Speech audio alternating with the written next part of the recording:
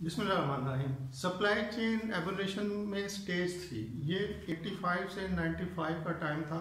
जब Dell company ने जितनी भी पीछे सप्लाई चेन की थ्योरीज चल रही थी पॉलिसी चल रही थी, जो कंसेप्ट इंट्रोड्यूस हो चुके थे सप्लाई चेन में,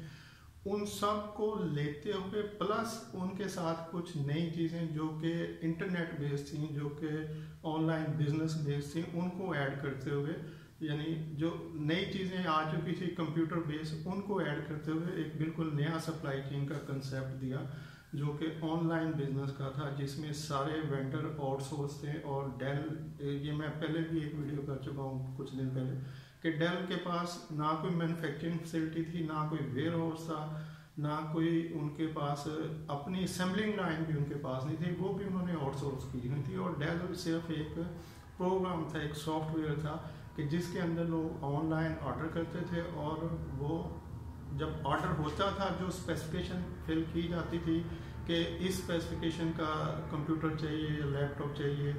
ये रैम चाहिए, ये हार्ड डिस्क चाहिए और इस ये ये उनकी चीज़ें हों। तो वो सारी चीज़ें सेम जब एंटर हो रही होती थी तो उन वेंडर को उनका डाटा पास होता था। जो उन, वो चीज़ें सप्लाई करते थे। और फिर वो विद इन मिनट्स जो है सेकंड वो सारा रिवर्ट वापस होता था और जो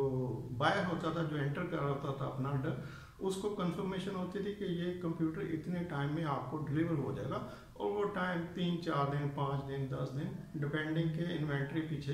कितनी अवेलेबल है, किस तरह की अवेलेबल है, कौन सी चीज़ है, कौन सी चीज़ नहीं है। तो ये बिल्कुल एक यूनिक कंसेप्ट था और उनसे बिल्कुल डिफरेंट था जो पीछे दो दो स्टेजेस में सप्लाई चेन जैसे चल रही थी।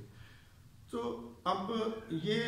इसलिए मुमकिन हुआ कि इसमें उस वक्त इंटरनेट आ चुका था, उस वक्त कंप्यूटर ऐड हो चुका था इंफॉर्मेशन जो है वो इंफॉर्मेशन प्लस इंफॉर्मेशन का डाटा जो है वो इतना एक्यूरेट और प्रॉम्प्ट अवेलेबल था कि फौरी सब सब वेंडर्स की तरफ़ वो फॉरवर्ड हो जाता था और वेंडर उसको उसी टाइम पे वापस जवाब दे देता था। तो ये सारा जो स्पीड स्पीड अप हुआ, ये फिर वो पॉलिसी जो टोटा मोटर कंपनी ने अडॉप्ट की थी, वो प्लस जो इंटरनेट की वजह से चीज़ें ऐड आई उसकी वजह से सप्लाई चेन बिल्कुल एक नई शक्ल में डेवलप हुई और जो अभी जिसकी बेस पे अमेजोन चल रहा है ई चल रहा है अली चल रहा है और बहुत सारा ऑनलाइन बिज़नेस चल रहा है। तो ये वो एडवांस शक्ल है तीसरी स्टेज है, जो सप्लाई चेन में इवॉल्व होते हुए फ़र्स्ट स्टेज से सेकंड सेकंड से थर्ड पे डेवलप हो चुकी है और अभी जो ब्लॉक चेन की वजह से